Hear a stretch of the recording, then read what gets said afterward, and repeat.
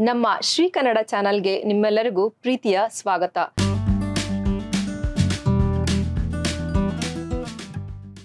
ನಿಮ್ಮ ಕುಟುಂಬದ ಬಗ್ಗೆ ನಾವು ಇಲ್ಲಿವರೆಗೂ ಒಂದು ಕಿರು ಪರಿಚಯವನ್ನ ನೋಡಿದ್ವಿ. ನಿಮ್ಮ ಶಿಕ್ಷಣದ ಬಗ್ಗೆ ನೀವು ಮೆಲುಕು ಹಾಕೋದಾದ್ರೆ ನಿಮ್- ನಿಮ್ಮ ಒಂದು ಶಿಕ್ಷಣದ ಸ್ಥಿತಿ ಹೇಗಿತ್ತು? ಎಲ್ಲಿ ನೀವು ಶಿಕ್ಷಣವನ್ನ ಮಾಡಿದ್ರಿ ಅನ್ನೋದ್ರ ಬಗ್ಗೆ ನಮಗೆ ಒಂದು ಕಿರು ಪರಿಚಯ ನನ್ನ ಶಾಲಾ ದಿನಗಳು ಪೂರ್ವ ಶಿಕ್ಷಣ ಎಲ್ಲ ನನ್ನ ಹಳ್ಳಿಯಲ್ಲಿ ನನ್ನ ಗ್ರಾಮದಲ್ಲೇ ಮಾಡಿದ್ದು.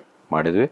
ನಂತರ ನನಗೆ ನನ್ನ ದೊಡ್ಡಪ್ಪ ತಿಪ್ಪಣ್ಣವರು ಬಳ್ಳಾರಿಗೆ ನಾನು ಕರ್ಕೊಂಡು ಹೋಗ್ತಾರೆ. ಅವರ ಅಷ್ಟೊತ್ತಿಗೆ ಅಲ್ಲಿ ಅಲ್ಲಿ ಪ್ರಸಿದ್ಧವಾದಂಥ ಲಾಯರ್ ಆಗಿದ್ದರು ಅವರೇ ನನ್ನನ್ನು ಕರ್ಕೊಂಡೋಗಿ ಅಲ್ಲಿ ಬೆಳೆಸಿ ನನಗೆ ಮುಂದಿನ ವಿದ್ಯಾಭ್ಯಾಸಕ್ಕೆ ತಮ್ಮ ಹತ್ರನೇ ಇಟ್ಕೊಂಡು ತನ್ನ ನನಗೆ ಆ ಆ ಒಂದು ವಿದ್ಯಾಭ್ಯಾಸದನ್ನು ಮಾಡಲಿಕ್ಕೆ ಅನುವು ಮಾಡಿ ಅವರೇ ಪ್ರೇರಣೆಯಾಗಿ ನನಗೆ ಒಂದು ನನ್ನ ಗ್ರ್ಯಾಜುಯೇಷನ್ನು ನಾನು ಕಾಲೇಜು ದಿನಗಳು ಸ್ಕೂಲ್ ದಿನ ಮುಂದಿನ ನನ್ನ ಶಿಕ್ಷಣದ ದಿನಗಳನ್ನೆಲ್ಲ ಅವರ ಅಡಿಯಲ್ಲೇ ನಾನು ಕಳಿತೀನಿ.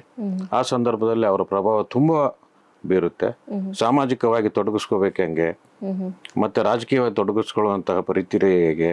ಮತ್ತು ಸಾಹಿತ್ಯಿಕ ಚಟುವಟಿಕೆಗಳು ನನ್ನ ಮನೆಯಲ್ಲಿ ಮೊದಲಿಂದಲೂ ನಡೀತಾ ಇದ್ದಿದ್ದರಿಂದ ಎಲ್ಲರೂ ವಿದ್ಯಾವಂತರಾಗಿದ್ದರಿಂದ ಪುಸ್ತಕಗಳನ್ನು ಹಂಚಿ ತಗೊಳ್ಳೋ ತಂದು ಓದ್ತಕ್ಕಂಥ ಹವ್ಯಾಸ ನನಗೆ ಆಗಲೇ ಬಂದಿತ್ತು. ಬರೀತಕ್ಕಂಥದ್ದು ನಿಧಾನವಾಗಿ ರೂಢಿ ಮಾಡ್ಕೊಳ್ತಾ ಹೋದೆ. ನನ್ನ ಗ್ರಾಮದಲ್ಲಿ ಒಂದು ವಿಷಯ ನನಗೆ ಈ ಪುಸ್ತಕ ಸಾಹಿತ್ಯದ ಬಗ್ಗೆ ಹೇಳಬೇಕು ಅಂದರೆ ನನ್ನ ಗ್ರಾಮದಲ್ಲಿ ಆವಾಗ ಇರ್ತಕ್ಕಂಥ ಯೂತ್ಸು ಕೂಡ ಎಷ್ಟು ಪರಿಶುದ್ಧವಾದ ಮನಸ್ಸು ಮತ್ತು ಸಾಹಿತ್ಯಿಕ ಆಸಕ್ತಿಗಳನ್ನು ಬೆಳ್ಕೊಳ್ಳಿಕ್ಕೆ ಕಾರಣ ಆಯಿತು ಅಂದರೆ ಅಲ್ಲಿ ಇರ್ತಕ್ಕಂಥ ಯೂತ್ಸೇ ಒಂದು ಸಂಘವನ್ನು ಕಟ್ಟಿ, ಒಂದು ಸೊಸೈಟಿಯನ್ನು ಕಟ್ಟಿ. ತಾವೇ ದುಡ್ಡುಗಳನ್ನು ಹಾಕಿ, ಅಷ್ಟಿಷ್ಟು ದುಡ್ಡುಗಳ ಜೊತೆಗೆ ಸರ್ಕಾರದ ಗ್ರಂಥಾಲಯ ಇಲಾಖೆಯಿಂದನೂ ಸ್ವಲ್ಪ ಆ ಬೆನಿಫಿಟ್ಟನ್ನು ಪಡ್ಕೊಂಡು. ಇಡೀ ಪುಸ್ತಕಗಳನ್ನು ಇಡೀ ಗ್ರಾಮದಲ್ಲಿನೇ ಸಣ್ಣ ಗ್ರಾಮದಲ್ಲಿನೇ ಒಂದು ಸಾವಿರಾರು ಪುಸ್ತಕಗಳ ಗ್ರಂಥಾಲಯವನ್ನು ಮಾಡಿ ಟರ್ನ್ ಓವರ್ ಮಾಡ್ತಾ ಇದ್ರು. ಆ ಪುಸ್ತಕ ಇವರಿಗೆ ಈ ಪುಸ್ತಕ ಇವರಿಗೆ ಈ ಪುಸ್ತಕ ಇವರಿಗೆ ಅಂತೇಳಿ ಕೊಟ್ಟು ಅಷ್ಟು ಸಣ್ಣ ಸಣ್ಣ ಸಣ್ಣ ದುಡ್ಡನ್ನು ಕಾಂಟ್ರಿಬ್ಯೂಷನ್ ಆಗಿ ಪಡ್ಕೊಂಡು ಮತ್ತೆ ಅದರಿಂದನೇ ಪುಸ್ತಕಗಳನ್ನ ಕೊಂಡ್ಕೊಳ್ಳೋದು ಖರೀದಿ. ಹೀಗೆ ಪುಸ್ತಕಗಳ ಜಾತ್ರೆ ನನ್ನ ಗ್ರಾಮದಿಂದಲೇ ಪ್ರಾರಂಭ ಆಗಿದ್ದೆ ನಾನು ಪುಸ್ತಕಗಳನ್ನು ಓದಲಿಕ್ಕೆ ಬರೀಲಿಕ್ಕೆ ಪುಸ್ತಕವಾಗಲಿಕ್ಕೂ ಕೂಡ ಕಾರಣ ಆಯಿತು ಅಂತ ನನಗೆ ಹೇಳಲಿಕ್ಕೆ ಇಷ್ಟ ಆಗುತ್ತೆ ನಿಮ್ಮ ಒಂದು ಶಿಕ್ಷಣದಲ್ಲಿ ಸಹಪಾಠಿಗಳನ್ನ ನೆನೆಸ್ಕೊಳ್ಳೋದಾದ್ರೆ ನಿಮ್ಮ ಒಂದು ನೆನಪುಗಳು ಸವಿ ನೆನಪುಗಳು ಅಂತ ಹೇಳೋದಾದ್ರೆ ಅವು ತುಂಬ ಇದೆ ನನ್ನ ಗ್ರಾಮ ಬಾಲ್ಯದಲ್ಲಿ ನನಗೆ ತುಂಬ ಪ್ರೋತ್ಸಾಹಿತವಾಗಿ ಯಾರೇ ನಾನು ಏನೇ ಮಾಡ್ತೀನಿ ಅಂದರೂ ನನಗೆ ಪ್ರೋತ್ಸಾಹಿತಂತ ಹತ್ತು ಹಲವಾರು ಗೆಳೆಯರಿದ್ದರು ಆ- ಅವರು ಕೂಡ ಸಾಹಿತ್ಯ ಸಂಸ್ಕೃತಿ ಆಸಕ್ತಿಗಳನ್ನು ಬೆಳೆದ ಬೆಳೆಸ್ಕೊಂಡವರಿದ್ದರು ನಾವೇ ಬಾಲ್ಯದಲ್ಲಿ ಮಕ್ಕಳಾಗಿದ್ದಾಗ ನಾವೇ ನಾಟಕಗಳನ್ನು ಕಟ್ತಾ ಇದ್ವಿ, ನಾವೇ ನಾಟಕಗಳನ್ನು ಬರಿತಾ ಇದ್ವಿ, ನಾವೇ ನಾಟಕಗಳನ್ನು ಆಡ್ತಾ ಇದ್ವಿ. ಈ ರೀತಿ ಆ ಸಾಂಸ್ಕೃತಿಕ ಚಟುವಟಿಕೆಗಳಲ್ಲಿ ಬಾಲ್ಯದಿಂದಲೂ ನಾವು ತೊಡಗಿಸ್ಕೊಂಡು ಬಂದಿದ್ದಕ್ಕೆ ನನ್ನ ಹತ್ತು ಹಲವಾರು ಸ್ನೇಹಿತರು ನನ್ನ ಜೊತೆ ಕೈಗೂಡಿಸಿದ್ರು. ಕೈಗೂಡಿಸಿದ್ರು. ಮತ್ತೆ ನನಗೆ ಪ್ರೇರಣೆ ಆದರು ಆ ಆ ಆ ಒಂದು ಹಂತದಿಂದ ನಾನು ಬೆಳೀತಾ ಹೋಗಿ ನನ್ನ ಕಾಲೇಜ್ ಶಿಕ್ಷಣದಲ್ಲೂ ಕೂಡ ತುಂಬ ಇದೇ ರೀತಿಯ ಸಾಂಸ್ಕೃತಿಕ ಚಟುವಟಿಕೆಗಳು ಸಾಹಿತ್ಯಿಕ ಚಟುವಟಿಕೆಗಳಲ್ಲಿ ನಾನು ಪಾರ್ಟಿಸಿಪೇಟ್ ಮಾಡ್ತಾ ಇದ್ದೆ. ಮತ್ತು ಅದರಿಂದ ನಾನು ಕಲಿತಾನೂ ಇದ್ದೆ ಬೇರೆಯವ್ರಿಗೆ ಹೇಳ್ತಾನೂ ಇದ್ದೆ. ನನ್ನ ನನ್ನನ್ನು ನಾನು ಬೆಳೆಸ್ಕೊಳ್ತಾ ಹೋಗ್ಲಿಕ್ಕೆ ಇದು ತುಂಬ ಸಹಕಾರಿಯಾಯಿತು ನಾನು ಕಲಿತಂಥ ಅಕ್ಷರ ನಾನು ಅಥವಾ ನಾನು ನಾನು ಅದ್ರ ಬಗ್ಗೆ ತುಂಬ ಅಧ್ಯಯನವನ್ನು ಮಾಡ್ತಿದ್ದೆ. ಯಾವುದೇ ರೀತಿಯ ಸಾಹಿತ್ಯಗಳನ್ನು ನಾನು ಬಿಡ್ತಿರ್ಲಿಲ್ಲ. ಮುಕ್ ಮುಖ್ಯವಾಗಿ ನನಗೆ ಕುವೆಂಪು ಅವರು ಭೈರಪ್ಪನವರು ಈ ಈ ಈ ಒಂದು ಪುಸ್ತಕಗಳು ಕಾದಂಬರಿಗಳು ಎಲ್ಲ ರೀತಿ ಎಂ ಕೆ ಇಂದಿರಾ ವಾಣಿ ಈ ಎಲ್ಲ ಇವರೆಲ್ಲರ ಕಾದಂಬರಿಗಳನ್ನು ಕೂಡ ನಾನು ಓದಿದಂಥವನು. ಯಾಕಂದರೆ ಆ ಸಾಹಿತ್ಯ ಅನ್ನುವಂಥದ್ದು ಶಿಕ್ಷಣ ಅನ್ನುವಂಥದ್ದು ಜೊತೆ ಜೊತೆಗೇ ನಡ್ಕೊಂಡು ಹೋಗುತ್ತೆ. ಬರೀ ಪುಸ್ತಕಗಳನ್ನು ಓದುವುದಷ್ಟೇ ಶಿಕ್ಷಣ ಅಂತ ನಾನು ಹೇಳಲ್ಲ. ಗ್ರಾಜುಯೇಷನ್ ಆಯಿತು ಅಂದ ತಕ್ಷಣ ಅದು ಶಿಕ್ಷಣ ಅಂತ ನಾನು ಹೇಳಲ್ಲ. ನನ್ನನ್ನು ನಾನು ಬೆಳ್ಕೊಳ್ಳೋದು ಹೆಂಗೆ, ಬೆಳೆಸ್ಕೊಳ್ಳೋದು ಹೆಂಗೆ, ನನ್ನಲ್ಲಿ ನಾನು ಅಭಿವೃದ್ಧಿ ಆಗೋದು ಹೆಂಗೆ, ನನ್ನಲ್ಲಿ ನಾನು ಅರಳಿಕೊಳ್ಳೋದು ಹೆಂಗೆ ಅನ್ನುವಂತಹದ್ದೇ ಮೂಲಶಃ ಶಿಕ್ಷಣ ಆಗುತ್ತೆ ನೋಡಿ, ಕನ್ನಡ ಸಾಹಿತ್ಯದ ಸತ್ವ ಹೆಂಗಿದೆ ಅಂದರೆ ಒಂದು ಕಾಲಕ್ಕೆ ಮಹಿಳೆಯರು ವಸ್ತಲನ್ನೇ ದಾಟಿ ಬರದೇ ಇರುವಂತಹ ಸ್ವಾತಂತ್ರ್ಯ ಪೂರ್ವದ ದಿನಗಳಲ್ಲಿ ಎಂ ಕೆ ಇಂದಿರಾ, ವಾಣಿ ಮತ್ತಿತರ ಮಹಿಳಾ ಲೇಖಕಿಯರು ಬರೆದ ಪುಸ್ತಕಗಳನ್ನು ಮನೆಯಲ್ಲಿ ಓದ್ತಾ ಓದ್ತಾ ಓದ್ತಾ ಅವರು ಸುಸಜ್ಜಿತವಾಗಿ ತಮ್ಮನ್ನು ತಾವೇ ಅಲಂಕರಿಸಿಕೊಳ್ತಕ್ಕಂಥದ್ದು. ಯಾರು ಪುರುಷರು ಮನೆಗೆ ಬಂದರೆ ಬಾಗಿಲು ತೆಗೆದು ಬನ್ನಿ ಅಂತ ಕರಿತಕ್ಕಂಥ ಸಂಸ್ಕಾರವನ್ನು ಕಲಿಸಿಕೊಟ್ಟಿದ್ದೇ ಈ ಪುಸ್ತಕಗಳು. ಒಬ್ಬ ಮಹಿಳೆಯನ್ನು ವಸ್ತಿಲಿಂದ ಹೊರಗೆ ತಂದು ನಿಲ್ಲಿಸಿದ್ದೇ ಈ ಪುಸ್ತಕ ಪುಸ್ತಕಗಳು. ಅಂದರೆ ಪುಸ್ತಕಗಳು ಸಂಸ್ಕಾರವನ್ನು ಕೂಡ ಕೊಡ್ತೇನೋವಂಥದ್ದಕ್ಕೆ ನಮ್ಮ ಮಹಿಳಾ ಲೇಖಕಿಯರೇ ಕಾರಣ. ಕಾರಣ. ಎಷ್ಟೋ ಜನ ಅನಕ್ಷರಸ್ಥರಿದ್ರು. ಅಕ್ಷರನೇ ಬರ್ತಿರ್ಲಿಲ್ಲ. ನಾನು ನನ್ನ ಗ್ರಾಮದಲ್ಲಿ ನೋಡಿದ್ದೀನಿ ಹೊರಗಡೆ ನೋಡಿದ್ದೀನಿ. ದನ ಕಾಯ್ಲಿಕ್ಕೆ ಹೋಗ್ತಿದ್ರು ಕುರಿ ಮೇಯಿಸ್ಲಿಕ್ಕೆ ಹೋಗ್ತಿದ್ರು. ಅವನು ಪ್ರಬುದ್ಧವಾದಂತಹ ಓದುಗಾದ. ಹೆಂಗಾದ ಅಂದರೆ ಅವತ್ತಿನ ಪತ್ತೇದಾರಿ ಕಾದಂಬರಿಗಳು ಕೂಡ ಪ್ರೇರಣೆ ಆದರು ಅನ್ನುವಂಥದ್ದಕ್ಕೆ ನಾನು ನಿಜವಾಗೂ ನೆನೆಸ್ಕೋಬೇಕಾಗತ್ತೆ. ಕೆ ನರಸಿಂಹಯ್ಯ ಅನ್ನುವಂಥ ಪತ್ತೇದಾರಿ ಕಾದಂಬರಿಗಳು ಅವರು ಅದ್ಭುತವಾಗಿ ಕುತೂಹಲಭರಿತವಾಗಿ ಬರಿತಾ ಇದ್ದಿದ್ದರಿಂದ ಆ ಪತ್ತೆದಾರಿಯನ್ನು ಓದುವ ಚಟದಲ್ಲಿ ಅಕ್ಷರಗಳನ್ನು ಕಲಿತಂತಹ ದನಗಾಯಿಗಳು ಇದ್ದಾರೆ. ಕುರಿಮೇಸವರು ಇದ್ದಾರೆ. ನಾನು ನೋಡಿದ್ದೀನಿ ಪಕ್ಕದಲ್ಲಿ ಆ ಕೆಲಸ ದನ ಕಾಯ್ಲಿಕ್ಕೆ ಹೋಗ್ಬೇಕಾದ್ರೆ ಕೊರಳು ಕೊಂಕಳಲ್ಲಿ ಪುಸ್ತಕ ಇಟ್ಕೊಂಡು ಹೋಗಿದ್ದನ್ನು ನಾನು ನೋಡಿದ್ದೀನಿ. ಅಕ್ಷರಗಳೇ ಗೊತ್ತಿಲ್ಲದಂಥವ್ರು ಅಕ್ಷರಗಳನ್ನು ಕಲಿತಿದ್ದಕ್ಕೆ ಕಲಿಸ್ಲಿಕ್ಕೆ ಈ- ಪತ್ತೆದಾರಿ ಕಾದಂಬರಿಗಳು. ಕಾರಣ. ಅಂತಹ ಮಹಾನುಭಾವರನ್ನು ನಾನು ನೆನೆಸ್ಕೋಬೇಕಾಗ. ಯಾಕಂದ್ರೆ ಅಕ್ಷರ ಕ್ರಾಂತಿ ಒಂದೇ ದಿವಸ ಬೆಳೆಯುವಂಥದ್ದಲ್ಲ. ತಾನೇ ತಾನೇ ಪ್ರೇರಣೆಯ ಮೂಲಕ ಬರ್ತಕ್ಕಂಥ ಯಾರಾದರೂ ಹೇಳ್ಕೊಟ್ರೆ ಬರುವಂಥದ್ದಲ್ಲ. ಈ ರೀತಿ ಕನ್ನಡ ಸಾಹಿತ್ಯದ ಸತ್ವಗಳು ನಮ್ಮನ್ನು ಇಲ್ಲಿವರೆಗೂ ತರಲಿಕ್ಕೆ ಕಾರಣ ಆಯಿತು. ಅಂಥದ್ರಲ್ಲಿ ನಾನು ಒಳ್ಳೆಯ ಓದುಗನಾಗಿದ್ದರಿಂದ ತುಂಬ ಬೆಳೀತಾ ಹೋದೆ. ನನ್ನಲ್ಲಿ ನಾನು ಭಾವನೆಗಳನ್ನು ಬೆಳೆಸ್ಕೊಂಡೆ, ನನ್ನಲ್ಲಿ ನಾನು ಸಾಹಿತ್ಯವನ್ನು ಕೆದಕ್ಕೊಂಡೆ, ನನ್ನಲ್ಲಿ ನಾನು ಒಬ್ಬ ಸಂಶೋಧಕನನ್ನು ಕಂಡುಕೊಂಡೆ, ನನ್ನಲ್ಲಿ ನಾನು ಒಬ್ಬ ಪ್ರಚೋದನೆ ಮಾಡಿಕೊಂಡೆ, ಸಾಮಾಜಿಕವಾಗಿ ತೊಡಗಿಸ್ಕೋಬೇಕು ಅನ್ನೋ ಹಂಬಲ ಆ ಆ ಒಂದು ಬಯಕೆ ಹುಟ್ಟಲಿಕ್ಕೆ ನನಗೆ ಕಾರಣ ಆಯಿತು. ಮತ್ತು ನನಗೆ ಪ್ರೇರಣೆ ನನ್ನ ದೊಡ್ಡಪ್ಪಗಳು, ಅಪ್ಪಗಳು, ನನ್ನ ತಂದೆ ತಾಯಿಗಳು, ಅಜ್ಜ ಅಜ್ಜಿಗಳು ಎಲ್ಲ ವಾಸ್ತವತೆ ಮೇಲೆ ಒಂದು ಗಟ್ಟಿಯಾದಂತಹ ಘನವಸ್ತುವಾಗಿ ನನ್ನಲ್ಲಿ ಇಲ್ಲಿ ಕೂಡಿಸ್ಲಿಕ್ಕೆ ಕಾರಣ ಆಯಿತು ಅಂತ ಹೇಳಕ್ಕೆ ಸಂತೋಷ. ಸರ್ ನಿಮ್ಮ ವಿದ್ಯಾಭ್ಯಾಸವನ್ನು ನೀವು ಮುಗಿಸ್ತೀರಾ? ಸಾರ್ವಜನಿಕ ವಲಯದಲ್ಲಿ ನೀವೊಂದು ವೃತ್ತಿಯನ್ನು ಶುರು ಮಾಡಿದ್ರ ಬಗ್ಗೆ ಹಾಗೂ ಹೇಗೆ ಶುರುವಾಯಿತು? ಅದರ ಒಂದು ಅನುಭವವನ್ನು ನೀವು ಹಂಚ್ಕೊಳ್ಳೋದಾದ್ರೆ ಸರ್ ನಮಗೆ. ನನ್ನ ಗ್ರ್ಯಾಜುಯೇಷನ್ ಮುಗಿದ ತಕ್ಷಣವೇ ನಾನು ಲಾಗ್ ಜಾಯಿನ್ ಆಗ್ತೀನಿ. ನನ್ನ ಮನೆಯಲ್ಲಿ ಎಲ್ಲರ ಆಸೆನೂ ಅದೇ ಆಗಿತ್ತು. ಮೂಲತಃ ಅಪ್ಪಾಜಿ ಅವರನ್ನು ಕೂಡ ವಕಾಲತ್ ಮಾಡ್ತಾಯಿದ್ರು ಅದರಡಿಯಲ್ಲಿ ನನ್ನನ್ನು ಅದರೊಳಗೆ ತೊಡಗಿಸ್ಕೋಬೇಕು ಅನ್ನೋ ಆಸೆ ಇತ್ತು. ನಾನು ಆ ಹಂತದಲ್ಲಿ ನಾನು ಲಾ ಮಾಡ್ತಾ ಇದ್ದೆ. ಆ ಮಾಡುವ ಸಂದರ್ಭದಲ್ಲಿ ಕೆಲವು ಸ್ನೇಹಿತರ ಪ್ರೇರಣೆ ಅಥವಾ ಕೆಲವು ಶಿಕ್ಷಕರ ಪ್ರೇರಣೆ ಅಥವಾ ಒಂದು ಏನೋ ಒಂದು ನನಗೆ ನಾನು ಯಾಕೆ ನಾನು ಕಾಂಪಿಟೇಟಿವ್ ಎಕ್ಸಾಮ್ ಬರೋದು ನಾನು ಹೊರಗೆ ಬರಬಾರ್ದು ಅನ್ನುವಂತಹ ನನ್ನ ಇಚ್ಛೆ. ನನಗೂ ಆ ಶಕ್ತಿ ಇದೆಯಲ್ಲ ನಾನು ಯಾಕೆ ಇಷ್ಟೆಲ್ಲ ಸಾಹಿತ್ಯಿಕವಾದಂತಹ ಶಕ್ತಿ ಇದ್ದಾಗ ನಾನು ಯಾಕೆ ಸುಮ್ಮನೆ ಕೊಡ್ಬೇಕು? ಇಷ್ಟೆಲ್ಲ ಜ್ಞಾನನೂ ಇದೆ ಇಷ್ಟೆಲ್ಲ ಪುಸ್ತಕಗಳನ್ನ ಓದಿದ್ದೀನಿ. ಆ ಪುಸ್ತಕ ನನಗೆ ಪ್ರೇರಣೆ ಆಗುತ್ತೆ. ನಾನು ನನ್ನ ಅಕ್ಷರ ರೂಪದಲ್ಲಿ ತಂದಿಡ್ಲಿಕ್ಕೆ ಸಾಧ್ಯತೆ ಇದೆ ಅನ್ನುವಂತಹ ಒಂದು ಗಟ್ಟಿ ನಿಲುವು ನನಗಿತ್ತು ನನಗೆ ಆ ಕಾನ್ಫಿಡೆನ್ಸು ಇತ್ತು. ಹಾಗಾಗಿ ನಾನು ಕಾಂಪಿಟೇಟಿವ್ ಎಕ್ಸಾಮನ್ನು ಬರೆದು ಪ್ರಪ್ರಥಮವಾಗಿ ಕೆ ಎಸ್ ಅಧಿಕಾರಿಯಾಗಿ ಆಯ್ಕೆ ಆಗ್ತೀನಿ. ನಂತರ ನನ್ನ ಅದಕ್ಕೆ ಕಾರಣ ಸಾಕಷ್ಟು ಪ್ರಮಾಣದಲ್ಲಿ ನನ್ನ ಸ್ನೇಹಿತರು ಕಾರಣರಾಗ್ತಾರೆ. ನಾನು ಆ ದಿನಗಳಲ್ಲಿ ಧಾರವಾಡದಲ್ಲಿ ನನ್ನ ದಿನಗಳನ್ನು ಕಳೀತೇನೆ. ಆ ಧಾರವಾಡದ ವಾತಾವರಣದಲ್ಲಿ ಶಿಕ್ಷಣಕ್ಕೆ ತುಂಬ ಪ್ರೇರಣೆ ಇತ್ತು ಪ್ರೋತ್ಸಾಹನೇ ಇರುತ್ತೆ. ಆಗಲೇ ನಾನು ಬೇಂದ್ರೆ ಅವರ ಕವನಗಳನ್ನು ಕುವೆಂಪು ಅವರ ಕವನಗಳನ್ನು ಅದ್ಭುತವಾಗಿ ನಾನು ಕೆ ಎಸ್ ನರಸಿಂಹಸ್ವಾಮಿ ಅವರ ಕವನ ಎಲ್ಲ ರೀತಿಯ ಕವನಗಳು ಸಾಹಿತ್ಯಗಳನ್ನು ನಾನು ಅಳವಡಿಸ್ತಾ ಹೋದೆ. ಒಂದು ಕಡೆ ಪ್ರೇಮಗೀತೆಗಳಾಗಿ ಕೆ ಎಸ್ ನರಸಿಂಹಸ್ವಾಮಿ ಅವರು ಪ್ರೇರಣೆ ಆಗ್ತಾರೆ. ಒಂದು ರೀತಿಯ ಪರಿಸರದ ಪ್ರೇಮಿಯಾಗಿ ವಿಶ್ವಪ್ರೇಮಿಯಾಗಿ ದೇಶಪ್ರೇಮಿಯಾಗಿ ಭಾಷಾ ಪ್ರೇಮಿಯಾಗಿ ಕುವೆಂಪು ಅವರ ಕವನಗಳು ಪ್ರೇರಣೆ ಆಗ್ತದೆ. ಇನ್ನು ಅಚ್ಚ ಕನ್ನಡದ ಗ್ರಾಮ್ಯದ ಜೊತೆಗೆ ಪರಿಸರ ಪ್ರಕೃತಿ ಭಾವನೆಗಳ ಭಾವತರಂಗಗಳನ್ನು ಎಬ್ಬರಿಸ್ತಕ್ಕಂಥ ಬೇಂದ್ರೆಯವರ ಕವನಗಳು ಪ್ರೇರಣೆ ಆಗ್ತದೆ. ಈ ಎಲ್ಲವುಗಳನ್ನು ನಾನು ಗಟ್ಟಿಯಾಗಿದ್ದರಿಂದ ನನಗೆ ಬಹುತೇಕ ಆ ಪರೀಕ್ಷೆ ನನಗೇನು ತುಂಬ ದುಬಾರಿ ಅನ್ನಿಸ್ಲಿಲ್ಲ ಬರೋದು ಪ್ರಥಮವಾಗಿಯೇ ಪ್ರಥಮ ಸಾರಿನೇ ಬರದೆ ಪ್ರಥಮ ಸಾರಿನೇ ನಾನು ಅಧಿಕಾರಿಯಾಗಿ ಹೊರಗಡೆ ಬರಲಿಕ್ಕೆ ನಾನು ಕಾರಣ ಅಲ್ಲ ಇದಿಷ್ಟು ಸಾಹಿತ್ಯ ಕಾರಣ ಈ ಅಕ್ಷರಗಳ ಕಾರಣ ಈ ಸಂಸ್ಕಾರ ಕಾರಣ ಈ ಎಲ್ಲ ಪ್ರೇರಣೆಗಳು ಕಾರಣ ನನ್ನ ಕೌಟುಂಬನೂ ಕಾರಣ ಅಂತ ನಾನು ಹೇಳಲಿಕ್ಕೆ ನಾನು ಇಷ್ಟಪಡ್ತೇನೆ. ಹೇಗೆ ಅಂದ್ರೆ ಯಾವ ಯಾವ ಈಗ ನೀವು ಮೊದಲಿಗೆ ಶುರು ಮಾಡಿದ ಕೆ ಎಸ್ ಆಗಿ ನೀವು ಮೊದಲಿಗೆ ಎಲ್ಲಿ ಶುರು ಮಾಡಿದ್ರಿ ನಾನು ಕೆ ಎಸ್ ಅಧಿಕಾರಿಯಾಗಿ ಆಯ್ಕೆಯಾದ ಪ್ರಪ್ರಥಮವಾಗಿನೇ ಎಂ ಪಿ ಪ್ರಕಾಶ್ ಅವರ ಸಂಪರ್ಕ ಮೊದಲಿನಿಂದಲೂ ಇತ್ತು. ಅವರು ಬಳ್ಳಾರಿ ಜಿಲ್ಲೆಯವರ ಅವರು ರಂಗಕರ್ಮಿ ರಾಜಕಾರಣಿ ಸಮಾಜಮುಖಿ ಅವರ ಅವರ ಪರಿಸರದಲ್ಲಿನೇ ಬೆಳೆದಿದ್ದೆ ನಾನು. ನಮ್ಮ ಅಪ್ಪಾಜಿ ಅವರು ಅವರ ಸ್ನೇಹಿತರಾಗಿದ್ದರಿಂದ ಅವ್ರ ಜೊತೆ ಜೊತೆನೆ ಇವ್ರನ್ನೆಲ್ಲ ಅಬ್ಸರ್ವ್ ಮಾಡಿಕೊಂಡು ಬೆಳೆದಿದ್ದರಿಂದ ಅವರು ಅಷ್ಟೊತ್ತಿಗಾಗಲೇ ಮಂತ್ರಿಗಳಾಗಿದ್ದರು. ನನ್ನನ್ನು ನಂತರ ಪ್ರಥಮವಾಗಿ ನನ್ನ ಅವ್ರ ಊರಿಗೇನೆ ನನ್ನ ಟ್ರೈನಿಂಗ್ ತಕ್ಷಣನೇ ಅಲ್ಲಿಗೆ ಅಧಿಕಾರಿಯಾಗಿ ನನ್ನನ್ನು ತಹಶೀಲ್ದಾರ್ ಆಗಿ ನೇಮಕ ಮಾಡಿಸಿ ಅಲ್ಲೇ ಅವ್ರು ತಮ್ಮ ಕಡೆನೇ ಇಟ್ಕೊಂಡು ಅದು ಒಂದು ಭಾಳ ದೊಡ್ಡ ಪ್ರೇರಣೆ ಆಯಿತು ನನಗೆ. ಅವರ ಭಾಷಾ ವೈಖರಿ ಭಾಷಾ ಸಂಪತ್ತು ಮತ್ತು ಅವರ ಛಾತಿ ಮಾತನಾಡುವ ರೀತಿ ಪುಸ್ತಕಗಳನ್ನ ಓದುವ ಬಗೆ ಅವರು ಯಾವಾಗ್ಲೂ ಕಾರ್ನಲ್ಲಿನೇ ಪುಸ್ತಕಗಳನ್ನ ಇಟ್ಕೊಂಡು ತಿರುಗ್ತಿದ್ದಿದ್ದು ಚಟ ಆಯಿತು.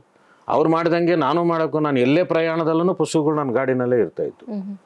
ಈ ರೀತಿ ಒಂದೊಂದು ರೀತಿ ಅವ್ರ ಭಾಷೆ, ಅವ್ರು ಮಾತಾಡ್ತಕ್ಕಂಥ ಭಾಷಣದ ಶೈಲಿಗಳು ನಾನು ಅಳವಡಿಸ್ತಾ ಹೋದೆ ಒಂದೊಂದೇ ಒಂದೊಂದೇ ಒಬ್ಬೊಬ್ಬರಿಂದ ಒಂದೊಂದು ಕಲ್ತ್ಕೊಂಡು ನಾನು ನಾನು ಬೆಳಿಲಿಕ್ಕೆ ನನಗೆ ಕಾರಣ ಆಗಿದ್ದು ನನಗೆ ಇವೆಲ್ಲವುಗಳ ಜೊತೆಗೆ ನಾನು ಸಮಾಜಮುಖಿಯಾಗಿ ಚಿಂತನೆ ಮಾಡಲಿಕ್ಕೆ, ಸಮಾಜಕ್ಕೆ ಏನಾದರೂ ಒಂದು ಮಾಡಬೇಕು ಅನ್ನುವಂಥ ತುಡಿತ ಹುಟ್ಟಿದ್ದೆ ಈ ಎಲ್ಲ ಮಹಾತ್ಮರ, ಈ ಎಲ್ಲ ಮಹನೀಯರ ಪ್ರೇರಣೆ ಅಂತ ನಾನು ಹೇಳ್ಬೋದು ಸರ್ಕಾರದಲ್ಲಿ ಸರ್ ನೀವು ತುಂಬಾ ವಿಭಾಗಗಳಲ್ಲಿ ತುಂಬಾ ವಿಶೇಷವಾದ ಒಂದು ಉನ್ನತವಾದ ಹುದ್ದೆಗಳನ್ನ ನೀವು ಅಲಂಕರಿಸಿದ್ದೀರಿ. ಇದ್ರ ಬಗ್ಗೆ ಹೇಳೋದಾದ್ರೆ K S R T C department ಅಲ್ಲಿ ಕೂಡ ನೀವು ಒಂದು ಎಂ ಡಿ ಆಗಿ ಅತ್ಯುನ್ನತವಾದಂತಹ ಒಂದು ಹುದ್ದೆಯನ್ನು ಅಲಂಕರಿಸಿದ್ದೀರಿ. ಅಲ್ಲಿ ಎಷ್ಟೋ ವಿಶೇಷವಾದಂತಹ ಒಂದು ಸೇವೆಗಳನ್ನ ನೀವು ಕೊಟ್ಟಿದ್ದೀರಿ. ಅದ್ರ ಬಗ್ಗೆ ನಮ್ಮ ಜನತೆಗೆ ಒಂದು ಕಿರು ಪರಿಚಯ sir K S R T ಸಿಯಲ್ಲಿ ನಾವು ನಿಜವಾಗ್ಲೂ ತುಂಬಾ ವಿಶೇಷವಾದಂತದಂತ ಕೇಳ್ಪಟ್ಟಿದ್ದೀವಿ ನಾವು. K S R T ಸಿನಲ್ಲಿ N E K R T C ಅಂತ ಕರಿತೀವಿ. ಈಶಾನ್ಯ ಕರ್ನಾಟಕ ನಗರ ಸಾರಿಗೆ ವಿಭಾಗದಲ್ಲಿ ಎಂ ಡಿ ಆಗಿ ಹೋಗ್ತೀನಿ. ಅದಕ್ಕೂ ಮುಂಚೆ ನಾನು ನನ್ನ ಬಳ್ಳಾರಿ ಜಿಲ್ಲೆಯಲ್ಲಿ ನನಗೆ ಜನ್ಮಭೂಮಿ ತುರುನೂರಾದರೂ ನನ್ನ ಕರ್ಮಭೂಮಿ ಬಳ್ಳಾರಿ ಆಗಿತ್ತು. ಹ್ಮ್ ಹ್ಮ್. ನಾನು ಆ ಬಳ್ಳಾರಿಯ ಹೊಸ ಹೊಸಪೇಟೆ ವಿಭಾಗದ ಅಸಿಸ್ಟೆಂಟ್ ಕಮಿಷನ್ ಆಗಿ ಇದಕ್ಕೂ ಮೊದಲಿನ ಒಂದು ಕತೆ ಆ ಆ ಒಂದು ಅಸಿಸ್ಟೆಂಟ್ ಕಮಿಷನ್ ಅಂದರೆ ಉಪವಿಭಾಗಾರಿ ಹುದ್, ಹುದ್ದೆಯಲ್ಲಿದ್ದಾಗ ಆ ಹಂಪಿ ನನಗೆ ಫ್ಯಾಸಿನೇಷನ್ ಹಂಪಿ ಅಂದ್ರೇ ನನಗೊಂದು ಹುಚ್ಚು. ಹಂಪಿ ಇತಿಹಾಸದ ಬಗ್ಗೆ ತುಂಬ ಅಧ್ಯಯನ ಮಾಡಬೇಕು, ತಿಳ್ಕೋಬೇಕು ಅನ್ನೋಂಥ ಹಂಬಲ. ಒಂದು, ಅಲ್ಲಿ ಅದೊಂದು ಜಾಗೃತವಾದ ಸ್ಥಳ. ಒಂದು ದೊಡ್ಡ, ಇಡೀ ಭಾರತದ ಒಂದು ಬಹುದೊಡ್ಡ ಸಾಮ್ರಾಜ್ಯ ಆಗಿ ಹೋದಂತಹ ನೆಲದ ಬಗ್ಗೆ ದೊಡ್ಡ ಹೆಮ್ಮೆ. ಅದಕ್ಕೆ ನನಗೆ ಯಾವುದೇ ಭಾಗದಲ್ಲಿ ಹೋದರೆ, ಯಾವ ಏರಿಯಾದಲ್ಲಿ ಕೆಲಸ ಮಾಡ್ತೀನೋ, ಅಲ್ಲಿಯ ಮಹತ್ವಗಳನ್ನು ತಿಳ್ಕೊತೀನಿ, ಅಲ್ಲಿಯ ಜನರ ಜೀವನವನ್ನು ತಿಳ್ಕೊತೀನಿ, ಅದ್ರ ಬಗ್ಗೆ ಆಸಕ್ತಿ ತೋರಿಸ್ತೀನಿ. ಆ ಆ ಒಂದು ಹಂತದಲ್ಲಿ ನಾನು ಹಂಪಿಯ ಬಗ್ಗೆ ತುಂಬ ಆಸಕ್ತನಾಗಿ ಹಂಪಿ ಅಭಿವೃದ್ಧಿ ಬಗ್ಗೆನೂ ನಾನು ಪಾರ್ಟಿಸಿಪೇಟ್ ಮಾಡ್ತೀನಿ. ಹಂಪಿ ಅಭಿವೃದ್ಧಿಯ ನಾನು ಕಮಿಷನರ್ ಆಗಿ ಕೂಡ ನಾನು ಚಾರ್ಜ್ ತಗೊಂಡಿದ್ದೆ. ಆ ಹಂತದಲ್ಲಿ ಹಂಪಿ ಬಗ್ಗೆ ನಾನು ತುಂಬ ಖುಷಿಯಾಗಿ ಕೆಲಸ ಮಾಡಿದೆ. ಹಂಪಿ ಅಲ್ಲಿರ್ತಕ್ಕಂಥ ಎನ್ಕ್ರೋಚ್ಮೆಂಟ್ಸ್ಗಳನ್ನ ಕಿತ್ತಾಕ್ಸಿದ್ದಾಗಲಿ ಮತ್ತು ಹಂಪಿಯ ಪರಿಕರಗಳನ್ನು ಸೇವ್ ಮಾಡಿದ್ದಾಗಲಿ ಪರಿಸರವನ್ನು ಸೇವ್ ಮಾಡಿದ್ದಾಗಲಿ ಅಲ್ಲಿ ಆರ್ಕಿಯಾಲಜಿ ಅವ್ರ ಜೊತೆಗೆ ನಾನು ಸಹಯೋಗದೊಂದಿಗೆ ಸಾಕಷ್ಟು ಉತ್ಖನನಗಳನ್ನು ಮಾಡಲಿಕ್ಕೆ ನಾವು ಅನುವು ಮಾಡಿಕೊಟ್ಟಿದ್ದಾಗಲಿ ಇದೆಲ್ಲ ನನಗೆ ತುಂಬ ಹೆಮ್ಮೆ ಮತ್ತು ಖುಷಿ ಪಟ್ಟಂಥ ವಿಚಾರ.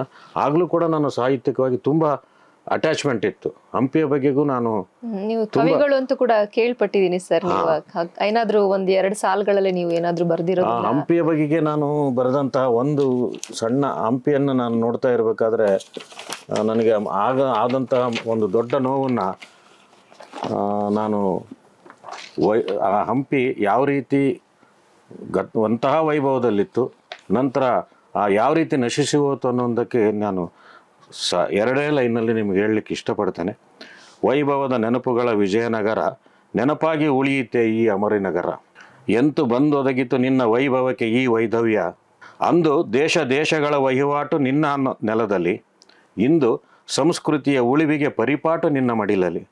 ನಿನ್ನೊಡಲಲ್ಲಿ ಕಾವ್ಯಗಳ ಕೌಮಾರ್ಯ, ರಸಿಕ ರಾಜ್ಯದ ಸೌಂದರ್ಯ ಕಲ್ಲಿನಲೇ ನಾದದ ಮಾಧುರ್ಯ, ತುಂಗಭದ್ರೆಯ ಗರ್ಭದಲ್ಲಿ ಶಿಲ್ಪಕಲೆಗಳ ತವರಿನಲ್ಲಿ, ನಾಡ ನಡುಮನೆಯ ಹೊಸ್ತಿಲಲ್ಲಿ ನಿನ್ನೆದೆಯ ಮೀಟಿದರೆ ಎಲ್ಲೆಲ್ಲೂ ಕನ್ನಡದ ಜಯಂಕಾರ, ಸಂಸ್ಕೃತಿ ಪರಂಪರೆಯ ಭಂಡಾರ ಹಣೆ ತುಂಬ ಸಿಂಧೂರ, ಮುಡಿ ತುಂಬ ಹೂ ಮುಡಿದು ಹಸಿರು ಸೀರೆಯನ್ನುಟ್ಟ ಮುತ್ತೈದೆ ನೀನು. ಸಮೃದ್ಧ ಸಂಸ್ಕೃತಿಯ ಉಡಿಕಟ್ಟಿ ಸಂಪದ್ಭರಿತ ಸಾಮ್ರಾಜ್ಯ ಆಸೆಯೊಳು ಕಾಲಿಟ್ಟ ವಿಜಯಲಕ್ಷ್ಮಿ ನೀ. ಕಾಲ ರಕ್ಕಸನ ಕಾಲಡಿಗೆ ಸಿಕ್ಕು ಕನವರಿಸಿತೋ ಕನಸಿನ ಸಾಮ್ರಾಜ್ಯ. ಸಾಲು ಸಾಲು ಸೋಲುಗಳ ಸರಮಾಲೆ. ವಿಧಿ ಬರಹವಾಯಿತು ವಿಜಯಶೀಲೆ. ಆದರೀಗ ಇದೇನಿದು ವೈಧವ್ಯ? ಮುಡಿಬಿಟ್ಟು ಬಳೆ ಒಡೆದು ಅಣೆ ತುಂಬಿದ ಅಂದವ ಅಳಿಸಿ ಬಯಲ ಆಲಯದೊಳು ಬೆತ್ತಲೆ ನಿಂತು ಸಾರಿ ಸಾರಿ ಹೇಳಿತು ಈ ಜಗಕ್ಕೆ ನಿನ್ನ ವೈಭವದ ವೈಧವ್ಯ. ಇದು ಹಂಪಿ ಯಾವ ರೀತಿ ಇತ್ತು ಏನಾಯ್ತು ಅಂತ ತಡಿದೇನೆ ಬರದಂತಹ ಒಂದು ಕವನ ಇದು. ಈ ಒಂದು ಕವಿತೆಯಲ್ಲಿ ಹೇಗಿತ್ತು ಹೇಗಾಯ್ತು ಅನ್ನೋದು ವೈಭವದ ವೈದವ್ಯ. ಆ ವೈಧವ್ಯವನ್ನ ಎಷ್ಟು ವೈಭವವಾಗಿದ್ದಂಥದ್ದು ಹೆಂಗ್ ಬಂತು ಅನ್ನುವಂತಹ ಒಂದು ನೋವಿದೆ ಒಂದು ಕಳಕಳಿ ಇದೆ. ನಾಡ ನಡುಮನೆ ಆಗಿದ್ದಂತ ಹಂಪಿ ಇವತ್ತು ಯಾವ ರೀತಿ ಆಗಿದೆ ಅನ್ನುವಂಥದ್ದು ಕೂಡ ಆ ಕ- ಮೀಟಿದ್ರೆ ಸಾಕು ಕನ್ನಡದ ಜೇಂಕಾರ ಇತ್ತು. ಸಾಹಿತ್ಯ ಹುಟ್ಟಿದ್ದಲ್ಲಿ ದಾಸ ಸಾಹಿತ್ಯ ಹುಟ್ಟಿದ್ದಲ್ಲಿ ವಚನ ಸಾಹಿತ್ಯಗಳಿಗೆ ಪರಿರೂಪ ಕೊಟ್ಟಿದ್ದಲ್ಲಿ ರಗಳೆಗಳು ಹುಟ್ಟಿದಂತಹ ಜಾಗ. ಇವತ್ತು ಇಡೀ ಸಾಹಿತ್ಯದ ಉತ್ಕನ ಇಡೀ ಸಾಹಿತ್ಯ ಬಂದಂತ ಅರಳಿದಂತಹ ಜಾಗದಲ್ಲಿ ಇವತ್ತು ಈ ರೀತಿಯ ಇಡೀ ಸಂಸ್ ಕನ್ನಡದ ಸಂಸ್ಕೃತಿನೇ ಇತ್ತು ಸಂಸ್ಕಾರ ಇತ್ತು. ಆ ನೆಲ ಏನಾಗಿದೆ ಅನ್ನುವಂಥದ್ದಕ್ಕೆ ಒಂದು ಒಂದು ಸಣ್ಣ ನನ್ನ ಮನಸ್ಸಿನ ಭಾವನೆಗಳನ್ನು ಇಲ್ಲಿ ವ್ಯಕ್ತ ಮಾಡಿದ್ದೀನಿ. ಇದೇ ರೀತಿ ನಂತರ ನಾನು ಕೆ ಎಸ್ ಆರ್ ಟಿ ಸಿಯ ಬಗ್ಗೆ ನೀವು ಕೇಳಿದ್ರಿ. ಕೆ ಎಸ್ ಆರ್ ಟಿ ಸಿಯಲ್ಲಿ N E K R T ಸಿನಲ್ಲಿ M D ಆಗಿ ಅಧಿಕಾರ ಸ್ವೀಕಾರ ಮಾಡಿದ ನಂತರ ನಾನು ಅಲ್ಲಿ ಸ್ವಲ್ಪ ಅದು ತುಂಬ ಸ್ವತಂತ್ರವಾದಂತಹ ಹುದ್ದೆ ತುಂಬ ಸಂತೋಷ ಖುಷಿ ಕೊಟ್ಟಂತಹ ಹುದ್ದೆ. ಆ ಹುದ್ದೆಯಲ್ಲಿ ನಾನು ಆ ಜನಗಳ ಜೊತೆಗೆ ಅರ್ಥ ಮಾಡ್ಕೊಳ್ತಾ ಬೆರಿತಾ ಅದನ್ನು ತಿಳಿದು ಬರೀ ಯಾಂತ್ರಿಕವಾಗಿ ಬಸ್ಸುಗಳ ಸಂಚಾರ ಇವುಗಳನ್ನಷ್ಟೇ ಇದ್ದಂಥದ್ದಕ್ಕೆ ನಾನು ಒಂದು ಕನ್ನಡದ ಕಸುವನ್ನು ಕೊಡಬೇಕು. ಇದಕ್ಕೆ ಕ್ರಿಯಾಶೀಲತೆಯನ್ನು ತುಂಬಬೇಕು ಅಂತೇಳಿ ನಾನು ನನ್ನ ಅವಧಿಯಲ್ಲಿ ಪ್ರತಿ ನಗರಕ್ಕೂ ಸಿಟಿ ಬಸ್ಗಳನ್ನು ಇಂಟ್ರಡ್ಯೂಸ್ ಮಾಡಬೇಕು ಅನ್ನುವಂಥ ಒಂದು ಕಲ್ಪನೆ ಇತ್ತು. ಸರ್ಕಾರದಿಂದ ನಾನು ಸಹಕಾರ ಕೋರದೆ ನನಗೆ ಆಗ ನನ್ನ ಹಿರಿಯ ಅಧಿಕಾರಿಗಳು ಕೆಲವು ಮಂತ್ರಿಗಳು ಕೂಡ ನನಗೆ ತುಂಬ ಸಹಕರಿಸಿ ಆ ಸಂದರ್ಭದಲ್ಲಿ ನನಗೆ ಹಣದ ಸಹಾಯವನ್ನು ಮಾಡಿದಾಗ ನಾನು ನನ್ನ ಕಲ್ಪನೆಗೆ ಕ- ನನ್ನ ಕನಸುಗಳಿಗೆ ಬಣ್ಣ ತುಂಬುವಂಥ ಕೆಲಸ ಮಾಡಿದೆ. ಇಡೀ ಗುಲ್ಬರ್ಗಾ ನಗರದಲ್ಲಿ ಸಿಟಿ ಬಸ್ಗಳನ್ನು ಹೊಸ ನವೀಕರಿಸಿದಂತಹ ಸಿಟಿ ಬಸ್ಸುಗಳನ್ನು ಈಗೇನು ಗ್ರೀನ್ ಬಸ್ ಅಂತ ಕರಿತೀವಿ ಅದನ್ನು ಇಂಟ್ರಡ್ಯೂಸ್ ಮಾಡಿ ವಿತ್ ಎಲ್ ಇ ಡಿ ಲೈಟ್ಸ್ಗಳೊಂದಿಗೆ ವಾಯ್ಸ್ ಓವರ್ ಮಾಡಿ ವಾಯ್ಸ್ಗಳಂತ ಇಂಥದ್ದು ಬರುತ್ತೆ ಇಂಥದ್ದು ಮೆಟ್ರೋನಲ್ಲಿ ಕೊಟ್ಟಂತ ಅವತ್ತೇ ನಾನು ನ- ಇದನ್ನ ನಾನು ಟೂ ತೌಸಂಡ್ ತರ್ಟೀನಲ್ಲಿನೇ ಇಂಟ್ರಡ್ಯೂಸ್ ಮಾಡಿಸಿ ಮಾಡಿಸ್ಬೇಕು ಅನ್ನುವಂಥ ನನ್ನ ಕನಸುಗಳಿಗೆ ಒಂದು ಬಣ್ಣ ತುಂಬಿದೆ. ಅಲ್ಲಿ ಆಗ್ತಾ ಆ ಬಸ್ಸಿಗೆ ಏನು ಹೆಸರು ಇಡಬೇಕು ಅಂದಾಗ ನಾನು ಕೃಷಿ ಮಾಡಿದ ಸಾಹಿತ್ಯ ಕಲಿತ ಅಕ್ಷರ ಓದಿದ ಇತಿಹಾಸ ಹೆಂಗೆ ಹೆಲ್ಪ್ ಆಯಿತು ಅನ್ನುವಂಥದ್ದಕ್ಕೆ ನೃಪತುಂಗ ಗುಲ್ಬರ್ಗದ ಮಳಕೇಡಾರ ಅನ್ನುವಂಥ ಸಣ್ಣ ಗ್ರಾಮವನ್ನು ಆಗ ಆ ಕಾಲಕ್ಕೆ ಮಳಕೇಡವನ್ನು ರಾಜಧಾನಿ ಮಾಡಿಕೊಂಡು ಇಡೀ ಸೌತ್ ಪಾರ್ಟನ್ನು ಗೋದಾವರಿಯಿಂದ ಕಾವೇರಿಗೆ ಕಾವೇರಿ ಇದ್ದ ನಾಡೋಳು ಕನ್ನಡ ಅನ್ನುವಂತಹ ಒಂದು ವಾಕ್ಯವನ್ನು ಬರೆದಂಥವನೇ ಅವನು. ನೃಪತುಂಗ. ನೃಪತುಂಗ ಮೂಲತಃ ಸಾಹಿತಿಯೂ ಆಗಿದ್ದ. ಅವನೇ ಆ ಆ ವಾಕ್ಯಗಳನ್ನು ಬರೀತಾನೆ. ಅವನೇ ಅದರ ಬಗ್ಗೆ ಹೇಳ್ತಾನೆ. ಇಲ್ಲಿಂದ ಅಲ್ಲಿವರೆಗೂ ನಮ್ಮ ಕರ್ನಾಟಕ ಇತ್ತು ಅನ್ನುವಂಥದ್ದು ಆಗ ಅವನು ಅವನ ಇದರೊಳಗಡೆ ಬರ್ತದೆ. ಮತ್ತು ಅವತ್ತಿನ ಇವ ಆ ಬಾಂಬೆಯಲ್ಲಿ ಇರ್ತಕ್ಕಂಥ ಇವತ್ತಿನ ಎಲಿಫೆಂಟ್ ಕೇವ್ಸ್ ಏನಿದೆ ಅದರಲ್ಲೂ ನೀವು ಈಗ ನೋಡಿದರೆ ಇವರ ರಾಷ್ಟ್ರದ ಲಾಂಛನ ಅಲ್ಲಿದೆ. ಅವತ್ತು ಮುಂಬೈ ಕೂಡ ಮಳಕೇಡದ ಅಡಿಯಲ್ಲಿ ಬರ್ತಿತ್ತು. ಪ್ರಪ್ರಥಮ ಕನ್ನಡದ ಅರಸು ಅಂದರೆ ನೃಪತುಂಗ. ಆ ಶತಮಾನದಿಂದಲೂ ಅವನು ಅಲ್ಲಿಂದ ಅಂತಹ ಒಬ್ಬ ಕನ್ನಡದ ಅರಸು ಹೆಸರನ್ನು ಇಡಬೇಕು. ಇಡೀ ರಾಜ್ಯನೇ ಮರ್ತೋಗಿದೆ ಅವನ ಹೆಸರನ್ನು. ಇತಿಹಾಸನೂ ಮರ್ತಿದ್ದೀವಿ ರಾಜ್ಯನೂ ಮರ್ತಿದ್ವಿ ಭಾಷೆನೂ ಮರ್ತಿದ್ವಿ. ಯಾಕೆಂದ್ರೆ ನಾವು ನಮ್ಮ ಕೊರತೆಗಳು ಕಾರಣ. ನಮ್ಮ ಅಕ್ಷರ ಇಚ್ಛಾಶಕ್ತಿ ಕಾರಣ. ನಮ್ಮ ಸಾಹಿತ್ಯ ಇಚ್ಛಾಶಕ್ತಿ ಕಡಿಮೆ ಆಗಿದೆ. ಇವೆಲ್ಲ ಕಾರಣದಿಂದ ಅದನ್ನು ನನಗೆ ಎಲ್ಲೇ ಒಂದು ಕಡೆ ಟ್ರಿಗರಿಂಗ್ ಆಗಿ ಆ ನೃಪತುಂಗ ಹೆಸರನ್ನು ತಂದು ಇಡೀ ನನ್ನ ನನ್ನ ಇನ್ನೂ ನೂರ ಅರವತ್ತೆರಡು ಬಸ್ಸುಗಳಿಗೆ ನಾನು ನೃಪತುಂಗ ಹೆಸರಿಟ್ಟು ನಗರ ತುಂಬ ಅಡ್ಡಾಡಿಸಿದಾಗ ಆ ಓಡಾಡೋದಕ್ಕೆ ಪ್ರತಿಯೊಬ್ಬರಿಗೂ ರೋಮಾಂಚನ ಆಗ್ತಾ ಇತ್ತು. ಆ ನೃಪತುಂಗ ಹೆಸರು ಮತ್ತೆ ಕಿವಿಯಲ್ಲಿ ಕೇಳಿ ಕೇಳಿ ಕೇಳಿ ನೃಪತುಂಗನ ಇತಿಹಾಸ ಮತ್ತೊಮ್ಮೆ ಮರುಕಳಿಸುವಂತಾಯಿತು. ಅದೇ ರೀತಿ ಬೀದರ್ನಲ್ಲಿ ನಾನು ಬಸ್ಗಳನ್ನು ಇದೇ ಅಂತ ಇಂಟ್ರಡ್ಯೂಸ್ ಮಾಡಿದಾಗ ಅವರಿನ್ನು ಈಗ ಕಲ್ಯಾಣ ಕರ್ನಾಟಕ ಅಂತ ಈಗ ಹೆಸರಿಟ್ಟಿದ್ದಾರೆ. ಹೌದು. ಅದು ಅವಾಗ ಕಲ್ಯಾಣ ಕರ್ನಾಟಕ ಆಗಿರಲಿಲ್ಲ ಹೈದರಾಬಾದ್ ಕರ್ನಾಟಕ ಆಗಿತ್ತು ಈಶಾನ್ಯ ಕರ್ನಾಟಕ ಆಗಿತ್ತು. ಅದಕ್ಕೆ ಅದನ್ನು ನಾನು ಆವತ್ತೇನೆ ಕಲ್ಯಾಣ ಕರ್ನಾಟಕ ನಗರ ಸಾರಿಗೆ ಅಂತ ಹೆಸರಿಟ್ಟು ಓಡಿಸಿದ್ದು ಆ ಒಂದು ಪ್ರೇರಣೆ ಹೆಸರಿಡ್ಲಿಕ್ಕೆ ಕಾರಣ ಆಯಿತು. ವಿಜಯಪುರದಲ್ಲಿ ಕನ್ನಡ ಸಾಹಿತ್ಯ ಸಮ್ಮೇಳನದ ಸಂದರ್ಭದಲ್ಲಿ ಅರವತ್ತೆರಡು ಬಸ್ಸುಗಳನ್ನು ಹೊಸದಾಗಿ ಇಂಟ್ರಡ್ಯೂಸ್ ಮಾಡಿ ಸಿಟಿ ಬಸ್ಸುಗಳನ್ನು ಓಡಿಸಿದಾಗ, ಆ ಸಿಟಿ ಬಸ್ಸುಗಳಿಗೂ ಕೂಡ ಒಂದೊಂದು ಬಸ್ಸಿಗೂ ಒಬ್ಬೊಬ್ಬ ಒಬ್ಬೊಬ್ಬ ಕವಿ, ಸಾಹಿತಿ, ವಚನಕಾರರು ಕನ್ನಡದ ದಿಗ್ಗಜರ ಆಗಿ ಹೋದಂತಹ ದಿಗ್ಗಜರ ಹೆಸರುಗಳನ್ನೆಲ್ಲ ನಾನು ಅಲ್ಲಿ ಕೊಟ್ಟು ಓಡಿಸಿದಾಗ, ಆ ಬಸ್ಸಿಗೆ ವಿಜಯಪುರ ನಗರ ಸಾರಿಗೆ ಅಂತ ಇಟ್ವಿ. ಅವತ್ತೇ ಆ ಪಾಯಿಂಟ್ ಟ್ರಿಗರಿಂಗ್ ಆಗಿ ಕನ್ನಡ ಸಾಹಿತ್ಯ ಸಮ್ಮೇಳನದಲ್ಲಿನೇ ಹಕ್ಕೊತ್ತಾಯ ಆಗುತ್ತೆ, ಬಿಜಾಪುರಕ್ಕೆ ವಿಜಯಪುರನೇ ಅಂತ ಇಡಬೇಕು ಅಂತ. ಈಗ ಎಲ್ಲೋ ಒಂದು ಕಡೆ ಪ್ರೇರಣೆ ಆಗಲಿಕ್ಕೆ ನನ್ನ ಈ ಸತ್ವ ಸಾಹಿತ್ಯಿಕ ಸತ್ವನೇ ಕಾರಣ ಅಂತೇಳಿ ನನಗೆ ಸಂತೋಷ ಆಗುತ್ತೆ. ಅಕ್ಷರ ಪ್ರೇಮ ಒಂದು ಈ ಒಂದು ಎಲ್ಲ ಬೆಳವಣಿಗೆ ಮೂಲ ಕಾರಣ ಹೌದು ಹೌದು. ಅದ್ರ ಜೊತೆಗೆ ಪ್ರತಿ ಬಸ್ ಸ್ಟ್ಯಾಂಡ್ಗಳನ್ನು ನವೀಕರಿಸಿದೆ ಪ್ರತಿ ಬಸ್ ಸ್ಟ್ಯಾಂಡಿನಲ್ಲಿನೂ ದೊಡ್ಡ ಪ್ರಮಾಣದ ದೊಡ್ಡ ದೊಡ್ಡ ಫೋಟೋಗಳು ನನ್ನ ನಮ್ಮ ಕನ್ನಡದ ಜ್ಞಾನಪೀಠ ಪ್ರಶಸ್ತಿಯ ವಿಜೇತರ ಎಲ್ಲ ಫೋಟೋಗಳನ್ನು ದ್ವಾರಕ್ಕೆ ಹಾಕಿಸ್ತಾ ಹ್ಮ್ ಪ್ರತಿಯೊಬ್ಬರು ಅದು ರೆಡಿ ಆದ ಹೋಗ್ಬೇಕು ಅದನ್ನು ನೋಡಿ ಹೋಗ್ಬೇಕು. ಅಟ್ಲೀಸ್ಟ್ ಅಲ್ಲಿ ಬರುವಂತ ಗ್ರಾಮೀಣ ಮಕ್ಕಳಿಗೆ ಅಜ್ಞಾನ ಜ್ಞಾನ ಉಳಿತದೆ. ಮತ್ತೆ ಪ್ರತಿ ಬಸ್ ಸ್ಟ್ಯಾಂಡುಗಳಲ್ಲೂ ಒಂದೊಂದು ಲೈಬ್ರರಿಯನ್ನು ಮಾಡಬೇಕು ಅನ್ನೋ ಹಂಬಲ ನಾನು ಅಲ್ಲಿ ಪೂರೈಸ್ಕೊಂಡೆ. ಯಾಕೆಂದರೆ ನಾನು ನೋಡ್ತಾ ಇದ್ದೆ ಹಳ್ಳಿಗಳಿಂದ ಬಂದ ಮಕ್ಕಳು ಬಸ್ಗಳಿಗೆ ಹೋಗಿ ಬ ಈಗೆಲ್ಲ ಸ್ಕೂಟ್ರು ಬೈಕುಗಳಲ್ಲಿ ಬಿಟ್ಟು ಬರ್ತಾ ಇರ್ಬೋದು. ಅವಾಗ ಬಸ್ಸಿಗೆ ಹೋಗಿ ಬಸ್ಗೆ ಬರುವಂಥ ಹುಡುಗ ಒಂದೊಂದು ಬಸ್ ಒಂದೊಂದು ಗಂಟೆ ವೇಸ್ಟ್ ಆದ್ರೂ ಬಸ್ ಸ್ಟ್ಯಾಂಡ್ನಲ್ಲಿ ಸುಮ್ಮನೆ ಕಾಲ ಕಳಿಬಾರ್ದು. ಅಟ್ಲೀಸ್ಟ್ ಒಂದು ಪುಸ್ತಕವನ್ನು ಓದಲಿ. ನಿಜವಾಗೂ ಸಾಹಿತ್ಯದ ಹಂಬಲ ಹುಟ್ಟುವಂಥದ್ದೇ ಹಳ್ಳಿಗಳಲ್ಲಿ. ಹಳ್ಳಿಯ ಶಾಲೆಗಳಲ್ಲಿ. ಆ ಮಗು ಹುಡ್ಕಾಡ್ಕೊಂಡು ಸುಮ್ಮನೆ ಕಾಲ ಕಳಿಲಾರ್ದ ಅಲ್ಲಿ ಕುತ್ಕೊಂಡ್ರು ಒಂದು ಪೇಪರ್ ಆರು ಓದ್ತಾನೆ ಇಲ್ಲ ಒಂದು ಪುಸ್ತಕನಾದ್ರೂ ಕೈಯಿಂದ ಎಳ್ಕೊಂತಾನೆ. ಪುಸ್ತಕವನ್ನು ಓದಾದ್ರೂ ಓದಬೇಕಿಲ್ಲ ಮುಟ್ಟಾದ್ರೂ ನೋಡಬೇಕು ಅಂತ. ಹಂಗೆ ಅವನು ಆ ಆ ಒಂದು ಆಸಕ್ತಿ ಅವನಿಗೆ ಬೆಳೀಲಿ ಅಂತಂದೇಳಿ ನಾವು ಅವನು ಅಲ್ಲಿ ಲೈಬ್ರರಿಗಳನ್ನು ಮಾಡಿದ್ವಿ. ಆಮೇಲೆ ಪ್ರತಿ ಬಸ್ಸುಗಳಲ್ಲೂ ಪ್ರತಿಯೊಬ್ಬ ವ್ಯಕ್ತಿಯ ಉಕ್ತಿಗಳನ್ನು ನಾನು ಒಂದು ನಲ್ವತ್ತು ನಲ್ವತ್ತೈದು ಒಂದೊಂದು ಬಸ್ಸಲ್ಲಿ ಆಗ್ತಾ ಇದ್ದೆ. ಬಸ್ಸಿಗೆ ಕೂತವರು ಅನಾವಶ್ಯಕವಾಗಿ ಮೊಬೈಲ್ ಹಾಡು ಕೇಳಿದೆ ಮೊಬೈಲ್ ಕೇಳೋದಿಲ್ಲ ಅಟ್ಲೀಸ್ಟ್ ಒಂದೊಂದು ಒಂದೊಂದು ಓದ್ತಾ ಹೋದರೆ ಅವನ ಪ್ರಯಾಣದ ಸಮಯ ಮತ್ತು ಅವನ ಪ್ರಯಾಣಿಸುವ ಡೆಸ್ಟಿನೇಷನ್ ಮುಟ್ತಾ ಇದ್ದ ಆ ಪ್ರಯಾಣದ ಸಮಯ ವರ್ತ್ ಅನ್ನಿಸ್ತಾ ಇತ್ತು. ಅದನ್ನು ಅನುಭವಿಸಿದಂಥವರೇ ನನಗೆ ಪತ್ರಗಳನ್ನು ಬರೆದು ನನ್ನ ನನಗೆ ತಮ್ಮ ಅಡ್ಮಿರೇಷನನ್ನು ಅಂದರೆ ತಮ್ಮ ಕೃತಜ್ಞತೆಗಳನ್ನು ಹೇಳಿದರು. ನಾವು ಬೆಳಿಗ್ಗೆ ಎದ್ದು ವಿಚಿತ್ರ ಮನಸ್ಥಿತಿ ಒಳಗಡೆ ಹೋಗ್ತಾ ಇದ್ವಿ. ಇದನ್ನು ಓದ್ತಾ ಹೋಗ್ತಾ ಓದ್ತಾ ಹೋದಾಗ ನಮಗೆ ದಿನನಿತ್ಯ ನಮಗೆ ಪ್ರೇರಣೆ ಆಗ್ತಿತ್ತು ಅನ್ನುವಂಥದ್ದು. ಅದಕ್ಕೆ ಒಂದೆರಡು ಉದಾಹರಣೆಗಳನ್ನು ಒಬ್ಬ ಸಾಹಿತಿ ಯಾರೋ ಬರೆದಿದ್ದ ನನಗೆ. ನೆಪೋಲಿಯನ್ ಬೋನ ಪಾರ್ಟಿ ಒಂದು ಜೀವನದಲ್ಲಿ ಅಸಾಧ್ಯವೆಂಬುದು ಯಾವುದೂ ಇಲ್ಲ ಅಂತ ಅನ್ನುವಂಥ ಸ್ಲೋಗನ್ ಹಾಕಿದ್ವಿ. ಅದು ಒಂದು ಹುಡುಗಿ ಬಸ್ಸಲ್ಲಿ ಹೋಗ್ತಕ್ಕಂಥ ಹುಡುಗಿಗೆ ಅವ್ನು ಕೇಳ್ತಾನೆ, ಎಸ್ ಎಸ್ ಎಲ್ ಸಿ ಒಳಗೆ ಎಷ್ಟು ಮಾರ್ಕ್ಸು ಅಂತ ಕೇಳ್ತಾನೆ, ಎಸ್ ಎಲ್ ಸಿ ಒಳಗೆ ನಲವತ್ತೆಂಟು ಬಂದಿದ್ದು, ಈಗ ಪಿ ಯು ಸಿ ಒಳಗಡೆ ಎಷ್ಟು ತೆಗೆದಮ್ಮ ಅಂದ, ಎಷ್ಟು ತೆಗೆದೆ ಅಂದರೆ ನಾನು ತೊಂಬತ್ತಾರು ತೆಗೆದೆ ಇದು ನಿನಗೆ ಹೆಂಗೆ ಸಾಧ್ಯ ಆಯಿತು ಅಂದರೆ ಅವಳಿಗೆ ಏನು ಮಾಡಲಿಲ್ಲ ಅಂತ ಆ ಸ್ಲೋಗನ್ ತೋರಿಸಿಲ್ಲ ಇದು ನನಗೆ ಒಬ್ಬ ಸಾಹಿತಿ ನಾನು ಬಸ್ನಲ್ಲಿ ಆಗಂತ ನನ್ನ ಅನುಭವ ಅಂತ ನನಗೆ ಒಂದು ಪತ್ರದ ಮೂಲಕ ಬರೆದಿದ್ದಂಥದ್ದು ನನ್ನ ನೆನಪಿದೆ. ಅಂದರೆ ಈ ಸಣ್ಣ ಸಣ್ಣ ಭಾವನೆಗಳು ಸಣ್ಣ ಸಣ್ಣ ಕ್ರಿಯಾಶೀಲತೆಗಳು ಎಲ್ಲೋ ಯಾವುದೋ ಸಮಾಜದ ಸ್ಥಿತ್ಯಂತರಗಳನ್ನು ಸಮಾಜದ ಸ್ಥಿತಿಗತಿಗಳನ್ನು ಬದಲು ಮಾಡಲಿಕ್ಕೆ ಅವಕಾಶ ಆಗುತ್ತೆ ಅನ್ನುವಂಥದ್ದಕ್ಕೆ ಇದೊಂದು ಉದಾಹರಣೆ.